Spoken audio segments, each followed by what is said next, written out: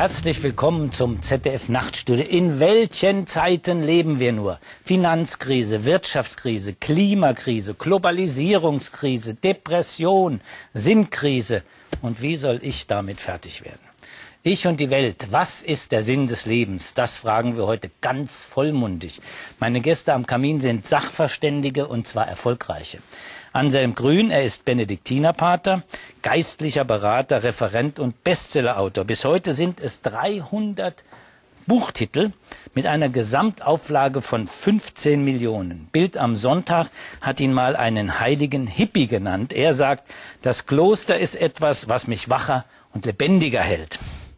Gelongma Lama Palmo studierte einst als Sabine Arzt Januschke in Wien Germanistik und Romanistik, fand dann den Sinn ihres Lebens in einem buddhistischen Kloster und ist heute eine der wenigen weiblichen Lamas, also Lehrer, Lehrerinnen des Buddhismus auf der ganzen Welt. Sie sagt, wer Glück und Zufriedenheit ausstrahlt, kann im kleinsten Großes bewirken. Michael Schmidt-Salomon, er ist Philosoph und Verfasser des Manifestes des, Evang äh, des Evangelischen. Da sieht man ja, wie man schon sich da verheddert. Manifest des evolutionären Humanismus. Der Spiegel nannte ihn mal Deutschlands Chefatheisten. Sein neues Buch trägt den Titel Jenseits von Gut und Böse. Warum wir ohne Moral die besseren Menschen sind. Er sagt, für das, was ich sage, wäre ich in vielen Jahrhunderten verbrannt worden und Heiner Geißler, Ex-Minister, Ex-CDU-Generalsekretär, streitbarer Katholik, Attac-Mitglied und Buchautor. U Topos, U Topos, wo ist der Ort sozusagen? Suche nach dem Ort, den es geben müsste, heißt sein neues Buch. Darin bekennt der heute 79-Jährige, solange ich schreiben und klettern kann, bin ich jung und habe mir abgewöhnt, Angst zu haben. Herr Geißler, angesichts der Ungerechtigkeit dieser Welt, alles, was wir am Anfang aufgezählt haben, steigt einem da nicht die Zornesröte ins Gesicht und zweifelt man an dem Sinn des Ganzen? Ich glaube schon, dass man am Sinn des äh, Lebens insgesamt zweifeln kann. Das äh, glaube ich schon, das tun viele. Und äh, ich meine, in dem Moment, wir hier zusammensitzen, äh, werden in dieser Sekunde oder in dieser Minute sicher Zehntausende äh, von Menschen äh, gefoltert, totgeschlagen, Frauen vergewaltigt, Kinder von ihren Eltern äh, brutal misshandelt, allein hier in Berlin. Und wenn man, wenn man die Schreie dieser Menschen alle punktuell in einer Sekunde hören könnte, dann wäre der Schrei wahrscheinlich so schrecklich, mhm. dass alle, die ihn hören, sterben müssten. Das ist die, das ist die Realität dieser Welt von der Finanzkrise und vielem anderen mal ganz abgesehen. Äh, insofern ist äh, der Titel äh, oder das, worüber wir reden, ja. gibt es einen Sinn des Lebens? Ja. Diese Frage ist absolut berechtigt. Ja. Und Sie würden sagen, wir müssen diesen Sinn wieder finden oder diesen Sinn ganz neu entwickeln? Ich weiß nicht, ob äh, wir ihn finden können. Mhm. Äh, ich glaube, äh, man kann höchstens miteinander diskutieren und vielleicht dann diese Erkenntnisse weitergeben. Äh, wie der Einzelne wirklich äh, ein, ein, sinnvolles, ein sinnvolles Leben führen kann. Von einem glücklichen Leben will ich gar nicht sprechen. Äh, es gibt auch Glücksmomente im Leben, das ist gar keine Frage. Und sag mal, in der, in der Vereinigung von zwei Menschen, die sich lieben, auch in der körperlichen Vereinigung, das kann in der höchsten Form der Ekstase auch das höchste Glück, äh, Glücksempfinden äh, verursachen, das Menschen überhaupt empfinden können. Ja. Aber selbst dieses Glück das Menschen haben können, wird auf der anderen Seite wieder von ähm, mächtigen Institutionen, zum Beispiel von äh, Religionen, auch von äh, der Moraltheologie der katholischen Kirche den Leuten vermiest, mhm. regelrecht mhm. äh, äh, eben in Frage gestellt, nicht? Und insofern äh, ist auch dieses Glück, das Menschen wirklich finden können, ist nicht das einzige Glück, ganz sicher nicht. Ähm, auch dieses Glück wieder fragwürdig für viele Menschen, mhm. obwohl sie es selber finden könnten. Pater Anselm, ist das Streben des Einzelnen nach Glück der Sinn des Lebens oder ist das, was Herr Geißler sagt, eben nicht? Darf der Einzelne gar nicht glücklich sein in seinem Doch, der Einzelne darf durchaus glücklich sein. Der Grundsatz der Philosophie, sagt Platon, ist, alle Menschen wollen mhm. glücklich sein. Aber ich würde nicht äh, das Glück als Ziel des Lebens sehen, sondern für mich gibt es zwei ähm, Aspekte von Sinn. Einmal, welche Lebensspur möchte ich eingraben in diese Welt? Also natürlich gibt es die Gesamtsituation, die Sie gerade dargestellt haben, äh, die macht dann nicht so glücklich, ja. aber trotzdem die Frage, was möchte ich hinterlassen in dieser Welt? Welche Spur möchte ich eingraben, dass ich mein ganz persönliches Leben, äh, meine Lebensspur eingrabe? Jeder Mensch, so sagt die Theologie, ist ein einmaliges Bild Gottes und diese Einmaligkeit, die darzulegen und diese Welt durch mich äh, wärmer, menschlicher zu machen, das ist der eine Sinn. Das zweite ist, welchen Auftrag habe ich? Jeder spricht von Sendung, wir sind auch gesandt in diese Welt, wir kreisen nicht um uns selber. Manche, die nur um Glück kreisen, meinen, äh, das mhm. kann man kaufen, sondern wir haben auch einen Auftrag. Also was, äh, was ist mein Auftrag in dieser Welt? Der eine hat einen politischen Auftrag, der andere einen spirituellen, der andere einen Auftrag, Projekte zu machen, irgendetwas neue Erkenntnis zu bringen. Es gibt verschiedene Aufträge, aber dass wir auch gesandt sind, dass wir nicht nur um uns kreisen, sondern eine Verantwortung haben für diese Welt, das ist für mich wesentlich. Wie erklären Sie sich den großen Erfolg Ihrer Bücher? Liegt das in Ihnen selber oder liegt das darin, dass Sie in einem, ich nenne es jetzt mal, behüteten Ort des Klosters leben seit 45 Jahren? Ich glaube, der Erfolg liegt darin, einmal gibt es eine tiefe Sehnsucht nach Spiritualität in den Menschen, zum anderen versuche ich eine einfache Sprache zu sprechen und keine moralisierende, keine bewertende Sprache, sondern eine Sprache, die die Menschen dort abholt, wo sie mhm. sind. Und ich versuche an, ja, ihre Sehnsucht anzusprechen nach gelingendem Leben und äh, nach einem tieferen Getragensein von mhm. Gott. Gelungen Lama, Sie waren verheiratet, sind dann nach Indien gereist. Ich sage jetzt mal durch Zufall in einem Kloster gelandet oder nicht durch Zufall, da sind in einem Kloster und haben gesagt, nein, das ist nichts für mich, diese Heirat, und sind dort geblieben. Ist das für Sie ein plötzlicher Lebenssinn gewesen, das zu entdecken und wie war das? Also zuerst bin ich nicht dort einfach hängen geblieben und durch Zufall dort gelandet, sondern sehr bewusst dorthin gegangen und habe mich mit dem Buddhismus damals schon sehr lange auseinandergesetzt mhm. und zwar auf intellektueller, philosophischer äh, Grundlage. Dann wie gesagt, das, was ich jetzt äh, theoretisch gehört habe, möchte ich auch kennenlernen und, und wirklich leben lernen. Also nicht nur einfach dieses Konstrukt, das, das mir zur Verfügung gestellt wurde im Westen, sondern auch wirklich dieses Erleben dessen, was ich da gehört habe. Und bin im Zuge meiner Hochzeitsreise dort eben in, in Sikkim gewesen und in ein Kloster. Und wie ich schon oft gesagt habe, dort, dort hat es zu brodeln einfach begonnen. Da konnte ich nicht mehr wirklich aus. Und ein Jahr später habe ich gesagt, ich kann tatsächlich nicht mehr anders. Mhm. Und und Sie sagten, der Buddhismus hat immer mit Sinn und Sinnsuche zu tun. Wie, wie versteht man das? Ist das eine Sinnsuche etwa, wie Herr Geister gesagt hat, dass man tatsächlich einen Sinn in dem großen Ganzen äh, finden muss, wo man am Leid der anderen auch verzweifelt? Oder ist es ein individuelles Sinnsuchmodell? Also ich glaube, dass man, äh, bevor man zu einem Sinn als Globales kommt, einmal den Sinn für sich selber finden muss. Und der Sinn für sich selber beginnt da und äh, wo, wo man irgendwo ansteht. Also ich kann nur von mir sprechen. Mhm.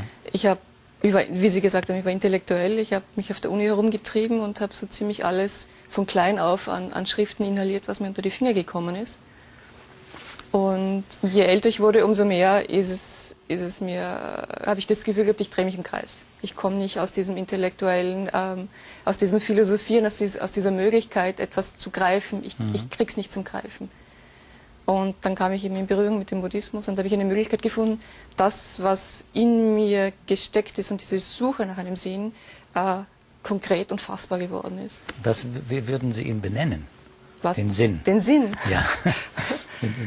ähm, der Sinn, die, die, die Befriedigung von einem Glück, das nicht ein Glück ist als Zufallsprodukt, sondern dass das Produkt ist von ehrlicher Anstrengung zum Wohle aller anderen. Mhm. Ja, Definition. Herr Schmidt-Salomon, ein Leben ohne Gott, ist das nicht grässlich? Dass, wenn der Tod da ist, wir nichts anderes haben als das, was wir gehabt haben? Nun ja, also äh, in der buddhistischen Tradition äh, übt man sich ja gerade darin, aus dem Kreislauf äh, mhm. der Leidenszyklen auszusteigen ins Nirvana. Das könnte man sagen, bieten äh, Atheisten oder Naturalisten äh, gleich äh, frei Haus an. Instant Nirvana könnte man sagen. Also das ist für uns, die wir hier in Europa aufgewachsen sind, wahrscheinlich eine Horrorvorstellung. Aber ähm, gut, wenn man sich das etwas genauer anschaut, dann ist wahrscheinlich auch die Vorstellung eines ewig gleichen äh, Paradieses äh, nicht besonders befriedigend für uns. Es gibt ja dieses Sprichwort, äh, nichts ist schwerer zu ertragen als eine Reihe von guten Tagen. Und jetzt multipliziere man das jetzt um Jahrtausende, Jahrhunderttausende, Jahrmillionen. Ich glaube, ähm, also die naive Vorstellung von einem Paradies, die wäre für die meisten Menschen so unerträglich, dass sie nach 10.000 Jahren dem Schöpfer auf die Knie fallen würden und sagen, bitte erlöse mich vom Fluch der Unsterblichkeit. Also diese, diese Vorstellungen äh, sind natürlich, wir müssen damit leben. Äh, am Ende jedes Lebens ist eine Tragödie. Und wenn es einen Stein der Weisen gibt, dann ist es meines Erachtens der Grabstein. Mhm. Äh, das Bewusstwerden unserer eigenen Vergänglichkeit, dass wir vergessen werden und selbst das Vergessen wird vergessen sein. Und das gilt für jeden, der hier sitzt. Äh, das gilt für die Zuschauer am Fernsehen, es gilt für diese Sendung, was ja. schade ist, aber auch sie wird vergessen sein. Ja, das, das, klingt erstmal, das klingt erst einmal ganz, ganz fürchterlich, aber wenn man sich mit dieser Vergänglichkeit konfrontiert hat, dann kann man genau daraus äh, natürlich auch äh, sowas wie einen Auftrag für sich selber äh, entwickeln, dass man diese kurze Spanne auf diesem Staubkorn im Weltall möglichst vernünftig mhm. gestaltet. Äh, das haben ja schon Epikureer gemacht dieses Carpe Diem entsteht ja aus dem Bewusstsein. Wo ich bin, der, ist der Tod nicht und wo der genau, Tod ist, bin ich ja. Epikur. Entsteht aus diesem Bewusstsein der Vergänglichkeit, dass man den Tag pflücken muss. Äh, wir haben sehr wahrscheinlich eben diese eine Chance. Es gibt keine ewige Verlängerung äh, dieses Gastspiels und äh, ich bin auch davon überzeugt, es gibt keine Wiederholungspartien im Sinne von Reinkarnation. Aber irgendeiner hat doch mal gesagt, wenn es keinen Gott gibt, ist alles erlaubt. Äh, das schreiben Sie ja. in Ihrem Buch gerade nicht. Eben Nein. bei Ihnen könnte man jetzt sagen, wenn es keinen Gott gibt oder weil es keinen Gott gibt, ist eben nicht alles erlaubt. Das heißt, ich muss selber für mich einstehen. Ich muss meinen Sinn nicht aus irgendetwas anderem heraus äh, destillieren, sondern ich muss ihn mir selber geben. Können Sie das in zwei Worten sagen, wie das funktionieren soll? Nun, wer nach dem Sinn sucht, der muss in seinen Sinn suchen. Das heißt, mhm. in unserer Sinnlichkeit, in der sehr irdischen Erfahrung von äh, Leid und Freude, Schmerz und Lust, Wohl und Wehe. Äh, das ist die Grundlage jeder Bedeutungszuschreibung, ist wahrscheinlich schon sehr früh in der Evolution entstanden. Und äh, was uns Menschen hier auszeichnet, ist, dass wir sehr empathisch sind. Das heißt, wir können das Leid von anderen mitempfinden. Wir mhm. leiden mit ihnen mit und wir können uns auch mitfreuen am, an der Freude der anderen.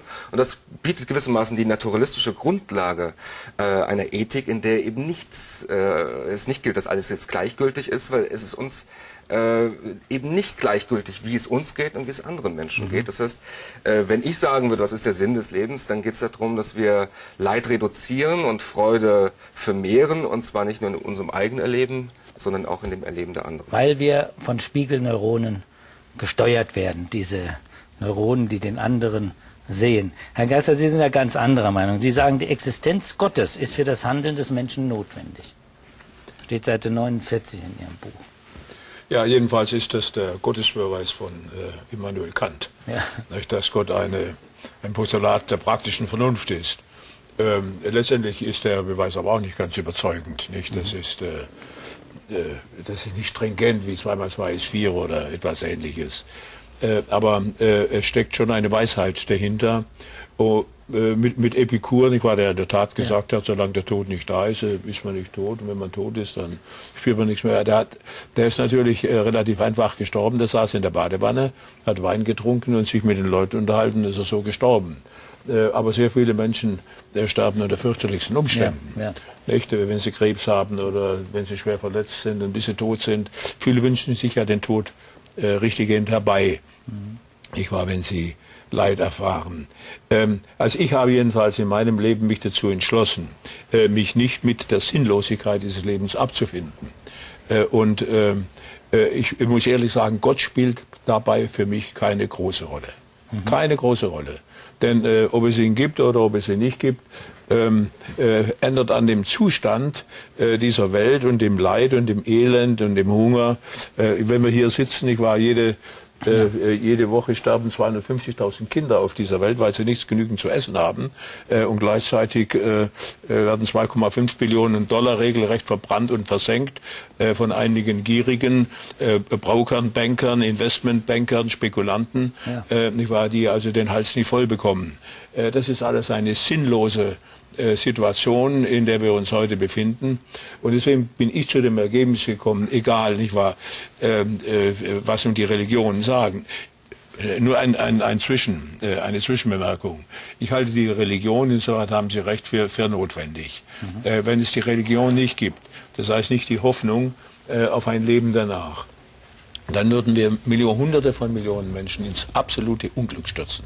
Die Menschen würden mit diesem Leben nicht fertig werden. Sie können sich überhaupt nur retten, nicht wahr, in ihrer Existenz dadurch, dass sie entweder wie im Buddhismus oder in den prophetischen Religionen die Hoffnung haben, nicht wahr, dass es eben nach diesem elenden Leben weitergeht. Nicht, äh, ja, obwohl man das, das, ja nicht weiß. Ja, aber, aber, ich will nur sagen, was ja. ich, äh, der, der, der, Sinn, der Sinn, äh, mein Sinn, äh, dass ich mich mit diesem Unglück nicht abfinde, äh, sondern äh, der Sinn meines Lebens äh, besteht darin und bestand auch immer darin, wenigstens ein bisschen Zentimeter oder, oder Meter für Meter dazu beizutragen, dass die Lebensbedingungen der Menschen sich verbessern, dass man den Menschen helfen kann, äh, dass man aber auch die Systeme verändert, äh, dass man sogar Revolutionen durchführt, um mhm. das Unrecht äh, zu beseitigen, so wie das im Übrigen Jesus auch getan hat. Jesus war ein, ein großartiger Homo politicus. Mhm. Seine Botschaft hat eine absolut politische Dimension, was die heutige Kirche, Kirche leider Gottes äh, vergisst. Ja. Heute Ansehen, was sagen Sie dazu? Nur, nur äh, noch ein kleiner Hinweis für die Zuschauer. Sie haben ja Ihren Namen Anselm genommen von Anselm von Canterbury, der ja auch einen Gottesbeweis ja. durchgeführt hat. Ja, also. Natürlich, die Gottesbeweise sind alle nicht ganz stringent. Ähm, ich denke, da, da kann man diskutieren. Ich glaube, wir sind einig, dass wir der Sinn des Lebens auch im Engagement für die anderen besteht. Also nicht, äh, das sind Atheisten und Buddhisten und äh, ähm, Humanisten der gleichen Meinung. Was Sie über Ewigkeit gesagt haben, ist natürlich sehr plakativ. Also Ewigkeit ist nicht eine lange Dauer, sondern ist die Fülle des Lebens in einem Augenblick. Was Ewigkeit ist, das erleben wir, wenn Zeit und, und Ewigkeit zusammenfallen. Wenn wir ganz intensiv etwas erleben, dann ist Ewigkeit. Und also insofern kann man nicht so eine lange Dauer da sehen. Man kann natürlich. Ähm, Sie, Sie gehen doch davon aus, dass es ein Leben nach dem Tod gibt. Ja, äh, äh, Leben oder, nach, oder nicht? Leben nach dem Tod ist, äh, also das ist ja wie eine Verlängerung. Ich ja. denke, ist die, die, dass der Tod uns verwandelt, in die, in die, dass die tiefe Sehnsucht erfüllt wird. C.G. Jung, der Schweizer Therapeut, sagte mal, ob es ein Leben nach dem Tod gibt, kann ich weder philosophisch noch sonst wie beweisen. Aber er als Psychologe traut der Weisheit der Seele. Und die Weisheit der Seele weiß darum. Und ich kann gegen die Weisheit der Seele verstoßen. Ja, wenn wir eine haben. Wenn wir einen haben. Ja, gut, erstmal einen haben. Ja. Auch die Psychologen ja. sehen ja, nicht, den, den, nicht, den nicht im philosophischen Sinn, sondern im ja. psychologischen Sinn. So die innere äh, Ahnung ist da. Natürlich kann man sagen, ist die Weisheit der Seele nur dazu da, damit wir besser leben können, dass wir uns einigermaßen erträglich machen. Das ist natürlich eine Möglichkeit. Aber ähm, ich traue dann einfach der Weisheit und, und Jung meint dann auch, Gut, wer gegen die Weisheit der Seele verstößt, der wird neurotisch und rastlos und ähm, insofern finde ich es vernünftig, der Weisheit der Seele zu trauen und ähm, nicht ein, also das Leben nach dem Tod ist keine Fort, die Fortsetzung, die, sondern die Erfüllung, die Verwandlung des Menschen, der Menschen wird in das hinein verwandelt, was er eigentlich ist, von seinem Ursprung, was wir hier nie so ganz leben können. Ähm, und das ist schon auch, dass es eine Hoffnung für jeden Menschen gibt, auch den, der der schlechte Voraussetzungen hat, das soll kein Vertrösten auf das Jenseits ja, aber sein. Aber ist es nicht in der Tat in der Kirchengeschichte immer ein Vertrösten? Wenn wir nach dem, nach dem Sinn des Lebens heute fragen, müssen wir ja vielleicht nach dem Sinn des Lebens vielleicht vor drei, vierhundert oder noch länger fragen. Klar. Und da war ja das Jenseits ja immer, da, euch geht es heute be äh, dann, dann besser, aber jetzt hier müsst ihr erstmal Sklaven sein. Klar, also da, da ja. ist viel verkehrte äh, Botschaft ja. verkündet worden, das gebe ich zu. Das ist nicht die Botschaft des Evangeliums. Ja, ja, das ist die Botschaft der Kirchenväter, nicht wahr? Ambrosius und was sie bisher alle heißen. Nicht wahr? Die wirklich eine falsche, eine total falsche Interpretation des Evangeliums vorgenommen Also ich denke, wichtig ist in der Welt sich zu engagieren und gemeinsam die Hoffnung zu stärken. Aber ähm, dass es, dass es hier nicht aus ist, Oder Gabriel Vassel, der französische Philosoph, sagt einmal, lieben heißt zu sagen, du, du wirst nicht sterben. In jeder menschlichen Liebe mhm. ist auch eine Ahnung, dass wir nicht aus der Liebe fallen können, auch nicht durch den Tod. Wenn die Widerstandskämpfer im Dritten Reich an ihre Frauen geschrieben haben, kurz vor ihrer Hinrichtung, das Gefühl, wir werden uns wiedersehen. Die Henker haben keine Macht über uns. Die Täter können nicht über ihre Opfer triumphieren. Also das ist auch ein Stück Revolution dabei. Aber, aber für, für diese, ähm, das, was Sie jetzt gesagt haben, da brauchen Sie doch einen persönlichen, strafenden oder aber auch gütigen Gott nicht. Denn das, was, was Sie äh, jetzt ausgeführt haben, könnte man doch auch äh, äh, ja, etwa vielleicht im Buddhismus, wo es ja keinen persönlichen Gott gibt, annehmen? Oder würden Sie Pater Anselm widersprechen, was er gesagt hat? Ich würde es mir nicht anmaßen, ihm zu widersprechen. ähm, ich bin kein Katholik, das heißt, ich kann nicht die katholische Lehre beurteilen oder ich möchte sie auch nicht evaluieren. Ähm, natürlich meine eigene Meinung dazu. Und ich komme aus einem Umfeld, wo natürlich Katholizismus eine wichtige Rolle gespielt hat. Ich bin selber in eine Klosterschule mhm. gegangen und habe das aus erster Hand mitbekommen. Ähm, ich glaube, letztendlich geht es auf die Frage, gibt es einen persönlichen Gott? Ja. Auf die wollen wir ja hin letztendlich. Na, jetzt erstmal in diesem Bereich. Wir wollen mhm. erstmal jetzt sozusagen unsere Positionen klären. Die okay. gibt's ja, die gibt bei ihm nicht. Bei Ihnen beiden ist mir dieser Person, persönliche Gott äh, eher ein, ein philosophisches Konstrukt, muss ich ganz ehrlich sagen. Im Buddhismus gibt es den nicht. Im Buddhismus, ja, was gibt es denn da? Da gibt es das Überwinden von Leiden. Mhm. Und zwar das Überwinden von jeglicher Art von Egoismus. Also das jegliche Art von Egoismus, wo, wo der Egoismus die pervertierte Form dessen ist, was wir erreichen wollen.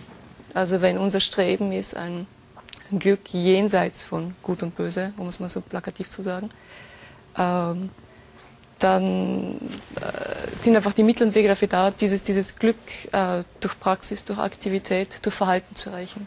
Mhm. Das heißt friedlich, sich zurückgezogen, spirituell wirken oder auch tätig in der Welt, also wie als ein Politiker. Zum Beispiel. Oder, ja.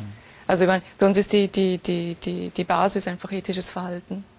Ähm, wenn ich mich innerhalb einer gewissen Ethik äh, mhm. Äh, bewege, dann ist mir von vornherein ähm, sehr viel abgenommen. Und zwar im positiven Sinn abgenommen. Das heißt, ähm, wo ich immer wieder mit mir selber in, in, in, in einen Konflikt kommen würde, äh, wo ich mich an Regeln halte, kann ich mich von diesem Konflikt fernhalten, kann ich mich von den Schwierigkeiten, die dieser Konflikt erzeugen würde, fernhalten. Bis zu dem Punkt, wo ich so gefestigt bin in meiner Ethik, dass ich mich nicht mehr fernhalten muss, dass ich transzendieren kann. Und die ewigen Wiedergeburten, was hat es damit auf sich? Die guten alten Wiedergeburten. ja, weil, weil, sag mal eben im Buch oder in meinem Interview habe ich es gelesen, mhm. ja, es kann doch nicht erstrebenswert sein, als Kesser, Kellerassel wiedergeboren zu werden. Ähm, also wir sagen, eine Wiedergeburt ist passiert so lange, solange ich aus diesem Zyklus nicht aussteigen konnte. Das heißt, solange mein, mein Geist nicht die mhm. Kraft in sich trägt oder diese Kraft wieder entdeckt hat, da aktiv rauszukommen. Und da aktiv rauszukommen, passiert ausschließlich auf der Basis von Altruismus. Mhm. Ähm, wenn ich da draußen bin, schaut die Geschichte sowieso wieder anders. Also, aber solange ich in diesem Kreislauf befinde, und dieser Kreislauf ist ein Kreislauf, der geprägt wird von ähm, Ursache und Wirkung. Also das, was ich heute tue, hat morgen eine, eine, eine Folge. Das ist, das ist ein Naturgesetz. Wenn ich mir heute am Finger haue, habe ich morgen einen blauen Fleck voraussichtlich. Mhm. Das heißt... Aber die Naturgesetze jetzt mal als Stichpunkt. Ja, ja. äh, das ist richtig. Mhm. Ursache, Wirkung mhm. äh, sind wesentlich für unser Naturverständnis. Nur äh, ziehen die sich äh, nicht über verschiedene Lebenszyklen hin, mit der, mit der Unterstellung, dass da gewissermaßen mhm. Persönlichkeitsmerkmale von einem Leben in das andere übergehen. Äh, das ist ja ein, die Vorstellung, die so problematisch ist, die meines Erachtens auch problematisch ist in der Vorstellung eines wie auch immer gearteten Lebens nach dem Tod, dass natürlich unsere Persönlichkeit äh, verbunden ist mit den neuronalen Schaltkreisen mhm. unserem Gehirn. Unsere Persönlichkeit ist da äh, gewissermaßen materiell äh, in, äh, verankert. Wir können nichts denken, wir können nichts empfinden, wofür es keine neuronalen Schaltkreise gibt. Und äh, mit dem Tod des biologischen Gehirns ist diese Persönlichkeit unwiederbringlich verloren. Äh, deswegen, man muss ja, wenn man über Sinn spricht, ja auch schauen, äh, wie, wie ist denn die Faktenlage eigentlich? Natürlich können wir ganz viel spekulieren, wir können uns die tollsten Dinge ausmalen. Und das haben Menschen ja gemacht. Die ganze Menschheitsgeschichte ist, ist eine grandiose Erzählung, äh, geboren aus einer überbrodelnden Fantasie. Aber wenn wir uns mal anschauen, okay, wie sind denn die realen Fakten? Dann gibt es doch überhaupt gar keine Belege, äh, an, an solche Vorstellungen zu glauben. Nur weil Sie die Belege nicht gesehen haben, muss das nicht heißen, dass es keine gibt. Ja, der, der, Gut, ich, meine, denke, das, ja. gibt es auch keine Belege. Klar, es ist letztlich beweisen kann man weder das eine noch das andere.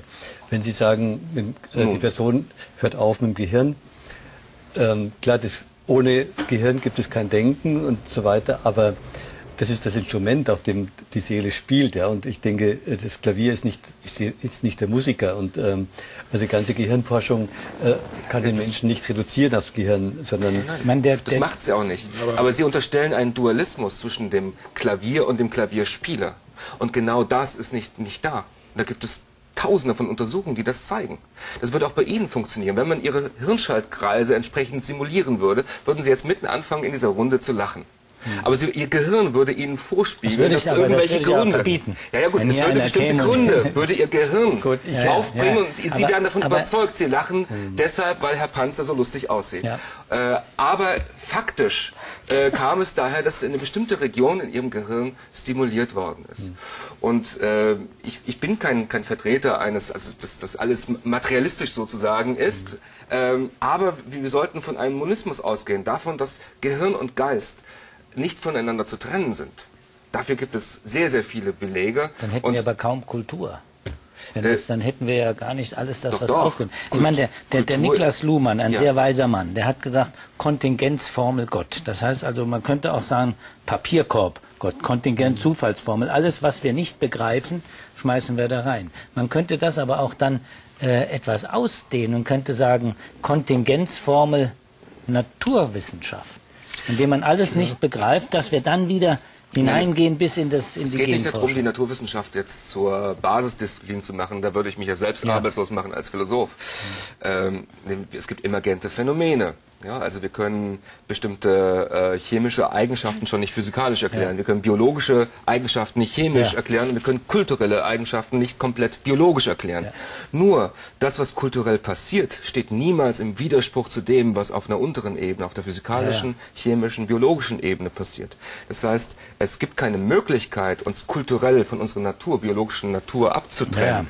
Ja, und äh, da hoffe ich mir, habe ich mir eigentlich erhofft, dass es vielleicht da auch noch ein, ein, eine Unterstützung von, von buddhistischer Seite gibt. Zumindest gibt es ja Strömungen im Buddhismus, die diese Trennung zwischen Körper und Geist so gar nicht mitmachen. Ja, aber so ja, äh, ich meine, das ist alles richtig, äh, was Sie sagen, aber Sie dürfen jetzt unsere Erkenntnisse auch nicht reduzieren auf die Neuronen und die Synapsen. Nein, nein. Das ist, äh, möglicherweise kommen in, in, in 20 Jahren ganz andere äh, Erkenntnisse. Ähm, es ist jedenfalls so, ähm, äh, dass es Existenzielles gibt, äh, an das der Verstand nicht heranreicht. Weil die Sie einfach verstandesmäßig nicht begründen können. Sind Sie da sicher? Bitte? Sind Sie da sicher? Haben Sie gute Argumente für diese These?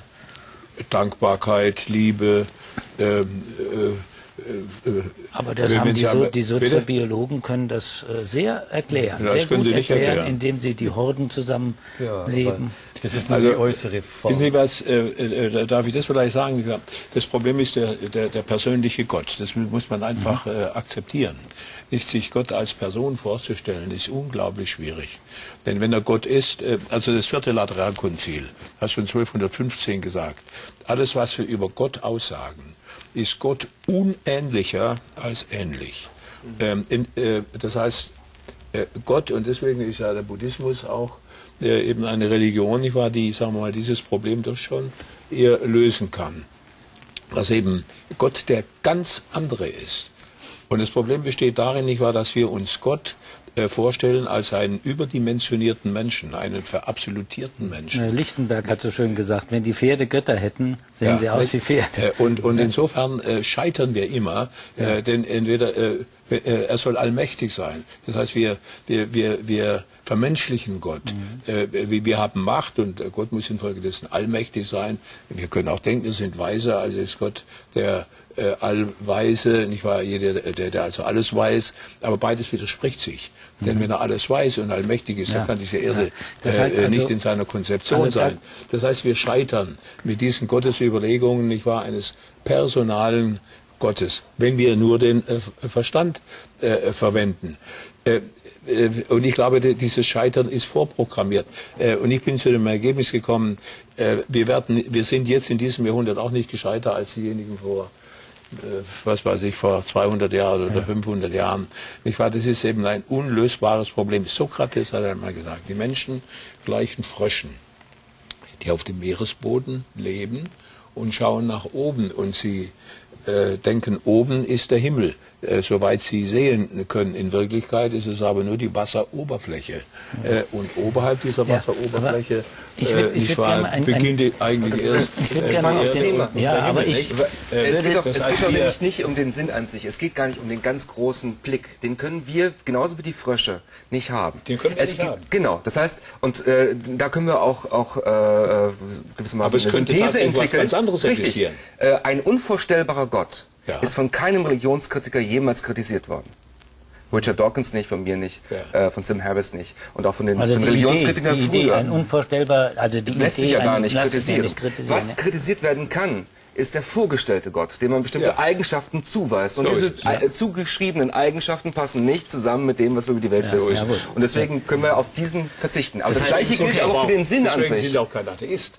Ja, ja, ja. Ist ja, ja, ja, von dem Unvorstellbar. Unvorstellbar. ist sowieso ein dummer Begriff. Aber das ist ja, ist ja bei, bei Anselm von Canterbury ist ja auch, dass, dass der Gott ist das, was man groß denkt, was uns so, so wir projizieren als etwas, was Also ein Inzucht, Gottesbeweis. Gut, ich denke, also könnten wir aber nochmal dieses äh, dieses ähm, vielleicht zusammenfassen. Es ist nicht der Sinn des Lebens, an einen persönlichen Gott zu glauben. Äh, und wollen wir das Ganze mal vielleicht auf die ethische Ebene herunter. Gut, Was das, ist dann ethisch, wenn wir keinen keine. Äh, also ich möchte Herrn Geisler recht geben.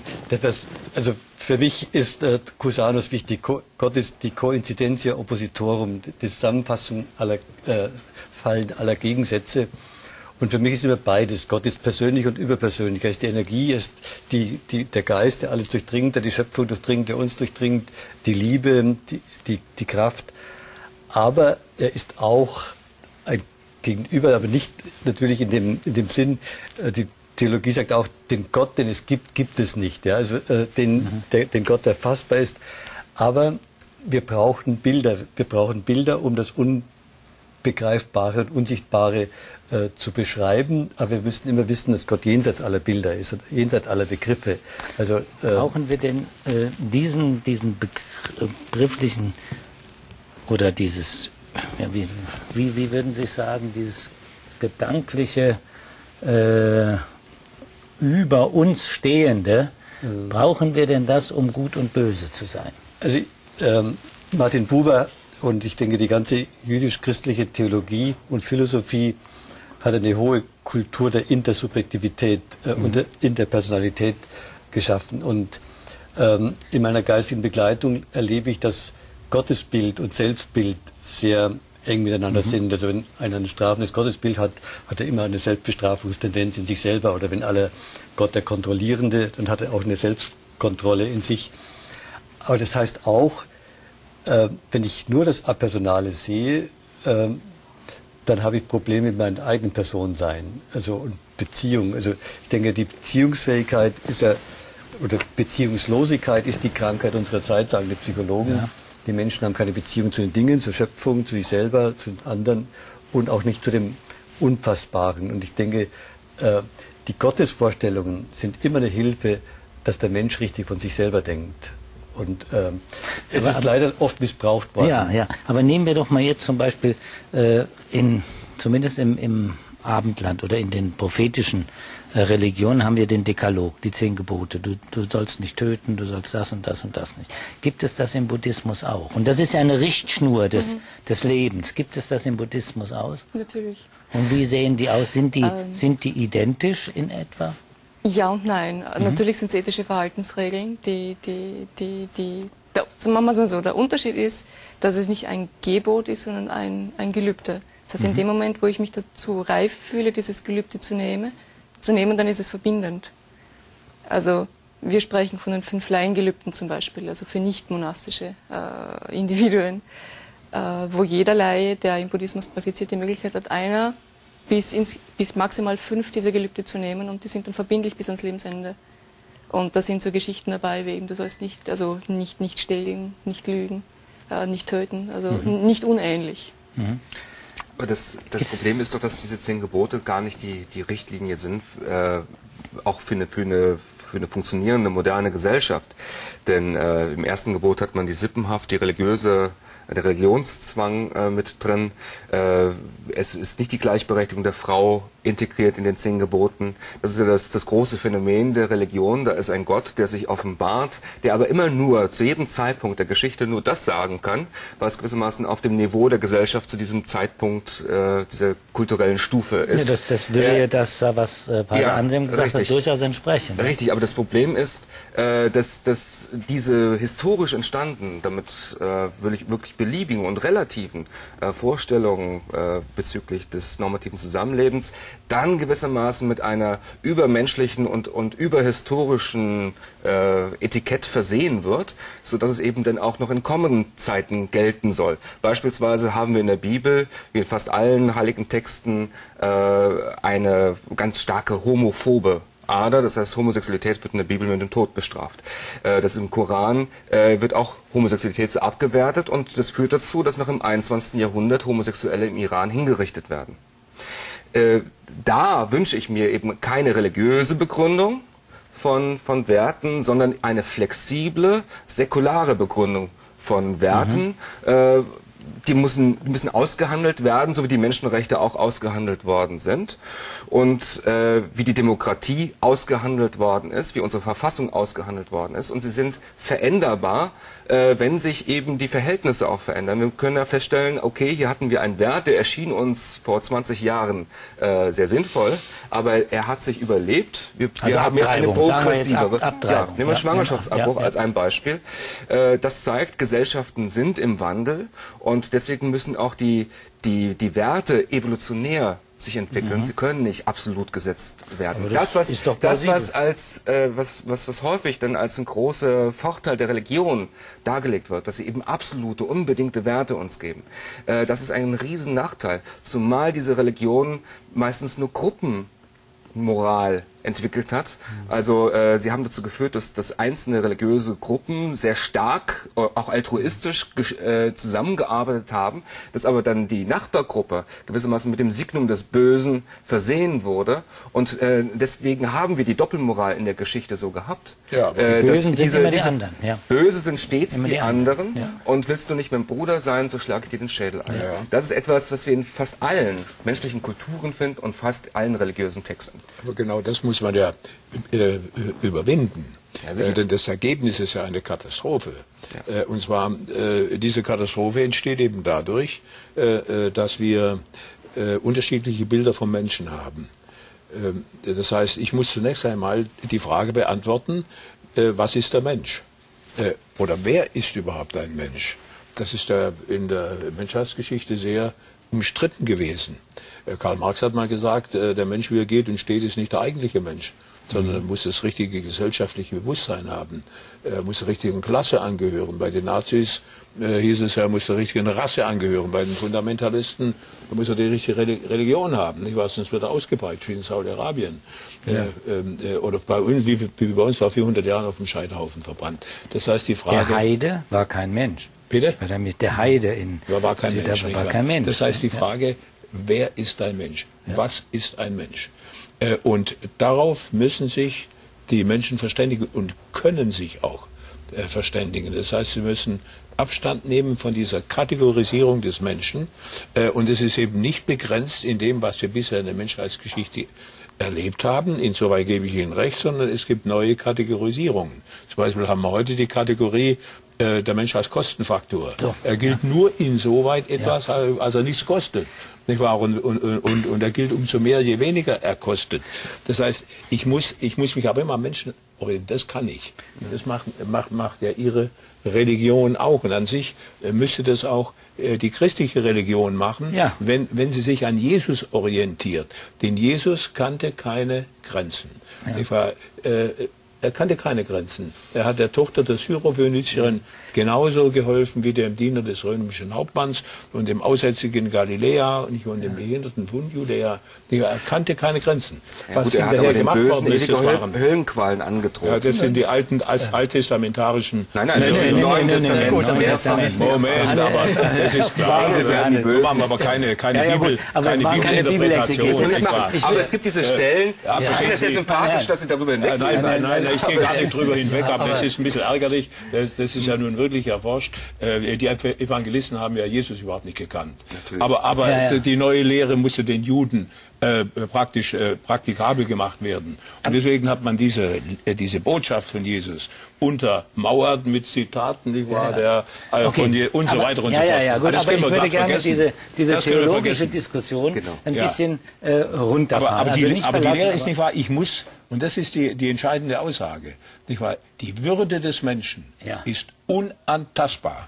Und das zwar unabhängig davon. So lange bitte? In dieser, Doch, in, in, so in, dieser Botschaft. Im Übrigen auch das, in Ihrer Botschaft. Das ist, das ist gut. Das ist im, das ist gut. im, äh, im Neuen Testament versteckt. Aber es wurde tatsächlich naja, ich meine, man hat sich weder in der Kirche noch sonst wo hat man sich daran gehalten. Ja, das ist was das ganz anderes. Da Natürlich. kam erst, und das würde ich sagen, da hat äh, Schmidt-Salomon ganz recht, es ist eine Verhandlungssache. Mit der Habeas Corpus Akte, du hast einen Körper, kommt erstmal so etwas wie die körperliche Würde des Menschen überhaupt vor. Und das ist im 15., 16. Jahrhundert. Gut, also ich denke, gut, wichtig na, ist, dass wir ja. die zehn Gebote wir müssten die Bibel auch mit dem Verstand auslegen. Mein, mein Namenpatron Anselm von Canterbury sagt, fides querens intellectum. Der Glaube sucht nach Einsicht. Wir haben auch einen Verstand und das ist ganz wichtig. Glaube und Vernunft muss zusammenkommen. Ähm, also wir dürften die nicht einfach nur als, als äh, Gruppengebote sehen, sondern wir müssen natürlich immer auch die Relativität sehen, aber trotzdem ist in den zehn Geboten ein Sinn äh, und die sind auch zeitlos. Nur dadurch kommt es immer auf die Deutung an und auf die Interpretation. Und da gibt es natürlich eine fundamentalistische Deutung, äh, wo die anderen ausgeschlossen werden. Aber Jesus hat ja auch die Feindesliebe, ich denke, wie kaum, kaum ein anderer. Die Griechen kannten sie auch schon, aber, aber nicht so ausschließlich wie, wie Jesus. Und ich denke, da werden ja Grenzen übersprungen. Klar, ich gebe Ihnen recht, auf dieser Ebene sind wir auch denke ich, einig. Ja. Aber ich würde nicht sagen, dass alle gesellschaftlichen Entwicklungen schon Normen sind. Ähm, wenn Sie Abtreibung sehen, äh, unabhängig jetzt von, von dem Tun, aber von der Psychologie her weiß man auch, man kann es nicht einfach so machen, ohne dass die Psyche äh, auch darunter leidet. Also, weil ich habe viel, viele Frauen begleitet, die abgetrieben haben. Das ähm, kann man nicht einfach sagen, das ist heute kann man das als Norm jetzt sehen, sondern ja, da widerspricht es auf der Seele. Ja, das ist schon richtig, aber das einzelne Individuum muss dann entscheiden. Das ist ja, die ja. Würde des Menschen heißt ja auch auf das Individuum gehen und nicht nur auf die Gruppe. Aber ich möchte jetzt diesen theologischen oder quasi theologischen Diskurs vielleicht abdrehen. Der Sinn des Lebens, wieder zurück, ich und die Welt, der Sinn des Lebens. Ist dieser Sinn eigentlich heute verloren gegangen, indem man, ähm, wir kommen jetzt auf diese Finanzkrise, indem man eine Sinnsuche begangen hat und diese Sinnsuche eben im Anhäufen von Geld, Reichtum, Luxus oder so etwas äh, zu haben. Besteht da ein Zusammenhang, dass wir auf der einen Seite immer reicher werden, auch in der Krise immer reicher werden, aber eigentlich immer noch auf der Sinnsuche sind? Sie sagten, als Sie aus dem Kloster zurückkamen, haben Sie erstmal all Ihr Hab und Gut verschenkt. Ist der Buddhismus sozusagen eine, eine Rettungsfunktion in einer heillos monetären Welt? Anders. Ähm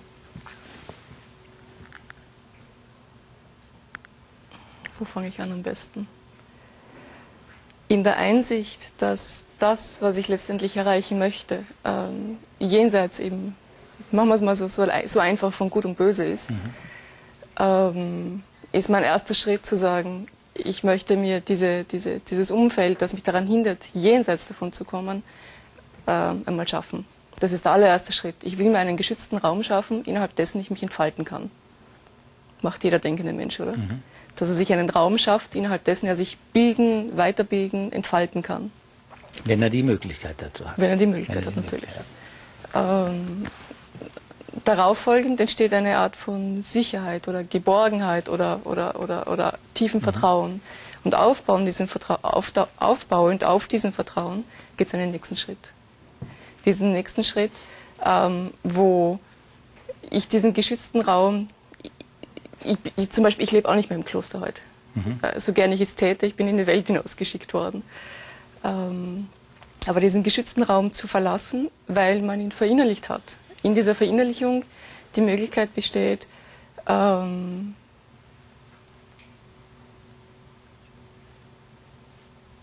diesen, diesen, diesen tief, diesen, diesen zuvor empfundenen Egoismus oder diese, diese, diese, die, die, ein, ein, sagen wir mal so, ein mittelfristiges Ziel erreicht zu haben, diesen Egoismus, der uns daran hindert, genau das zu erreichen, was wir erreichen wollen, ähm, so überwunden zu haben, dass wir hinausgehen können. Das heißt, dort spielt Geld keine Rolle.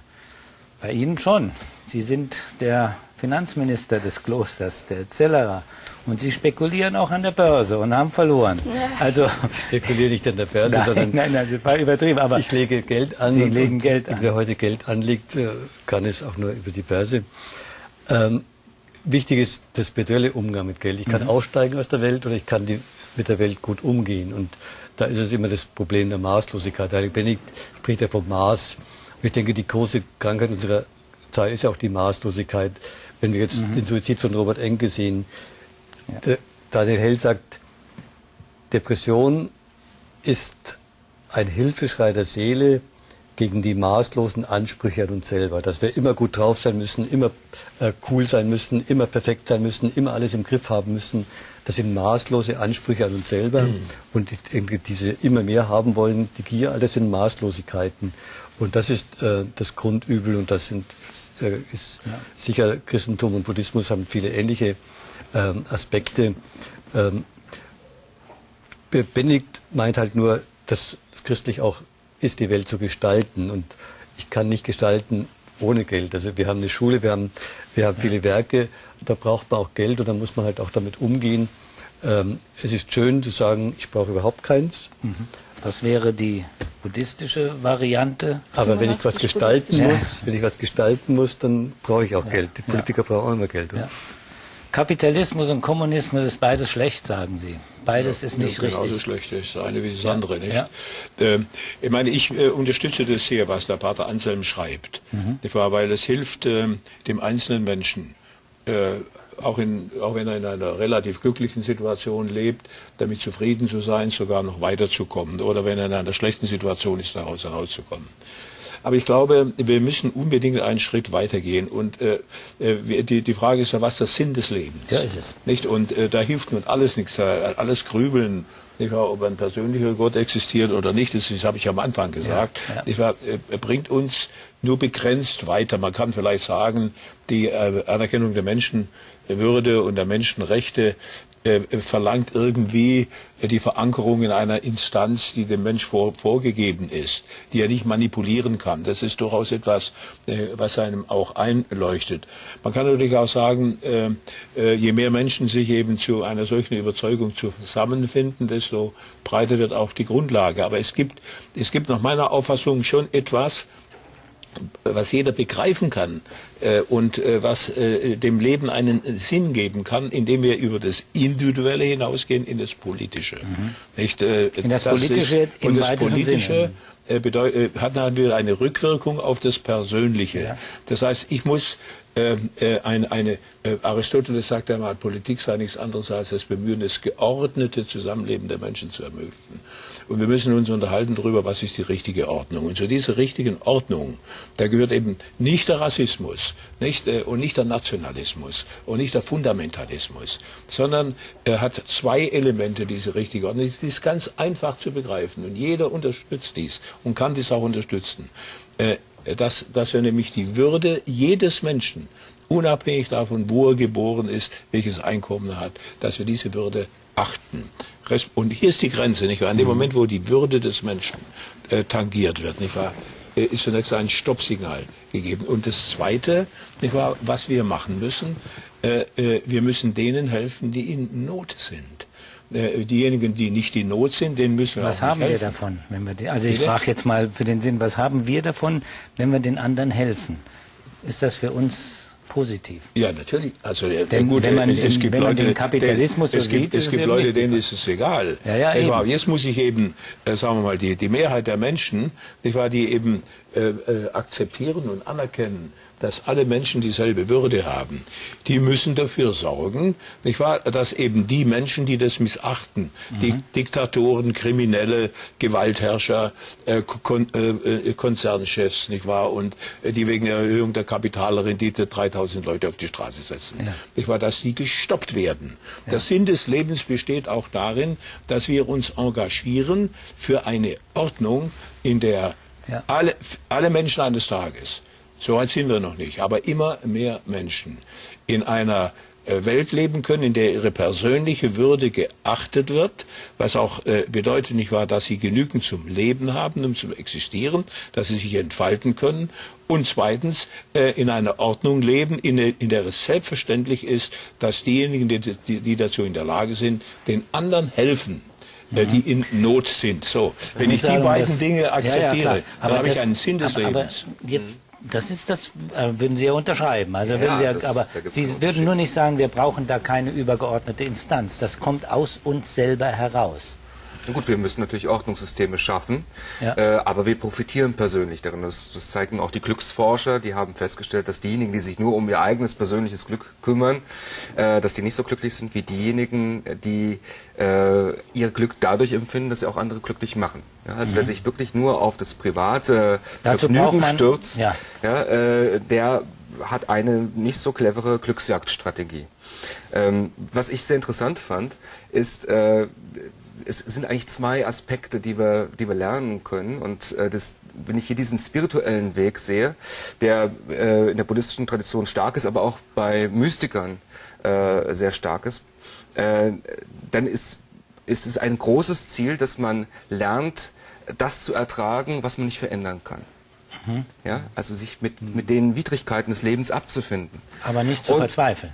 Ja, und dabei nicht zu verzweifeln. Aber es gibt eben eine zweite Weisheit sozusagen, wenn wir sagen, das eine ist mal die Weisheit des Ostens zu ertragen, was man nicht äh, verändern kann. Dann ist die zweite Weisheit, auf die Herr Geisler zu Recht hingewiesen hat, das zu verändern, Ja. äh, was wir gar nicht ertragen müssen, Ja. weil wir es verändern Ja. können.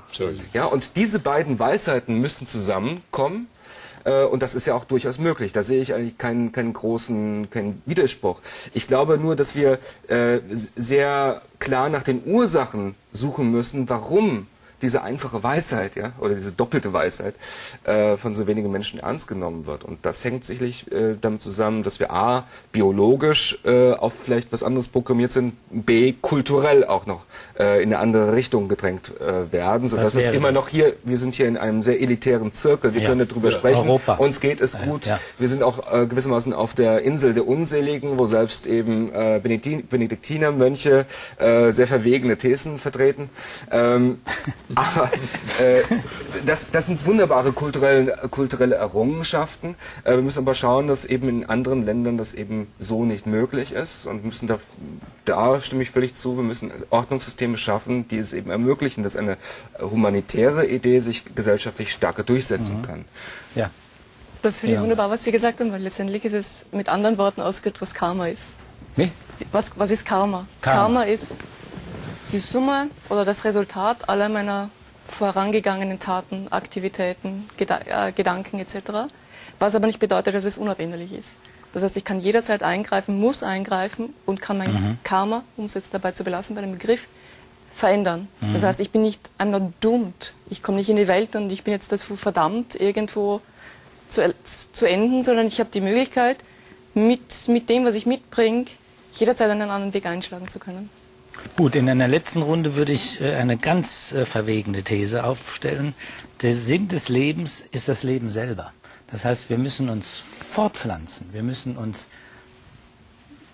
als Spezies sozusagen ist der Sinn erhalten. Was sagen Sie als ähm, das Zölibatär.